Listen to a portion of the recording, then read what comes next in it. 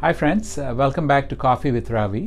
One of the things that we're trying to do this month is trying to raise awareness about gastric cancer. Gastric cancer is cancer of the stomach. In other words, the basic anatomy of the GI tract is there's the food pipe, which is the esophagus, there's the stomach, and then there's the small bowel and further down. And I'm technically referring to that portion, that sac that holds the food right up beneath the chest as the stomach. Fortunately, the uh, rates of gastric cancer deaths in the US is going down from 1950s. The geographic age is variable and the med- median age of diagnosis is around 70. It seems like it's more common in men, also African Americans, Native Americans, and Hispanic population. If you look at the worldwide incidence, you will see that the shaded areas is where the deeply shaded areas is where the incidence is higher. So the US is not so high, but it just gives you a sense of how the distribution is across the world. What puts somebody at risk for gastric cancer? I'm dividing it as definite risk factors as well as probable and you know goes down that way. In terms of definite, if there's a type of polyp in the stomach called adenomatous polyp. In other words, these are growths. Uh, not all stomach polyps are risk factors for gastric cancer, but adenomatous polyps are. If the stomach grows bald, in terms, there's a condition called atrophic gastritis, where the lining of the stomach, because of immune activity, etc., grows bald. It goes through a series of changes and puts you at risk. You know, it also can cause B12 deficiency associated with it. Cigarette smoking is a, a risk factor.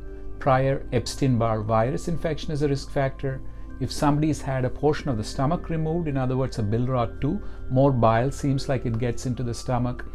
Uh, H. pylori infection, it's a common infection of the gut, uh, and we test for that. It, among other things, it causes ulcers, etc. And uh, some change in the lining of the gut because of some irritation called intestinal metaplasia are all definite risk factors people who have family history of gastric cancer, in other words, first degree relatives of somebody, they're at slightly increased risk. There are several genetic syndromes called familial adenomatous polyposis, hereditary non-polyposis colon cancer, juvenile polyposis, and Peutz-Jeghers syndrome. These are all risk factors for gastric cancer. There are some probable causes which include some dietary factors if somebody has history of ulcers if there's obesity there's a condition called pernicious anemia that we talked about if there's regular use of aspirin or other non-steroidal use or snuff tobacco use because a portion of that gets swallowed.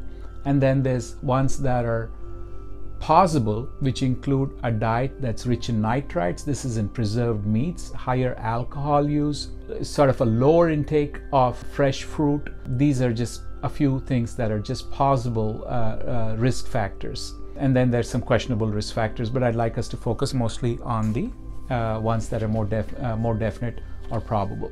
So, what can we do? Doing an upper endoscopy or a camera test on some in a, on a select group of patients. These are people who have symptoms after the age of 55, or this family history of gastric cancer, or people who have known infection for H. pylori or known intestinal metaplasia of the stomach. All of these are good indications for going down. Also, if there is Helicobacter pylori infection, we should treat it. The question becomes are non-steroidals protective for gastric cancer? Doesn't seem that. You know, there's some sort of minor evidence that statins help. You know, statins are drugs like, like Lipitor, other things that lower cholesterol. Uh, can they lower gastric cancer, perhaps, uh, small data, and minor data that antioxidants such as beta carotene, selenium, but some of these you get in fresh fruits and vegetables. It seems to be some data that a Mediterranean diet seems to be uh, protective against gastric cancer.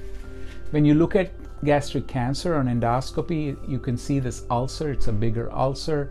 Uh, it looks angry, their edges are thickened, they're raised so therefore, when somebody has an ulcer, when we find it, we typically go back in a couple of months to make sure the ulcer is healed and it's not gastric cancer because a non-healing ulcer could be gastric cancer.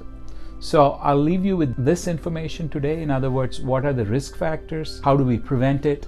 And uh, in subsequent posts, we can talk a little bit more in depth about some of these other things. Thank you.